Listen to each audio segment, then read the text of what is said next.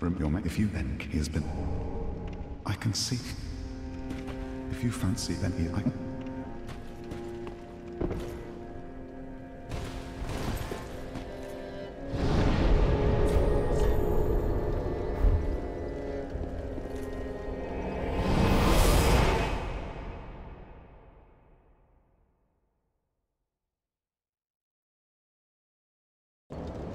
Now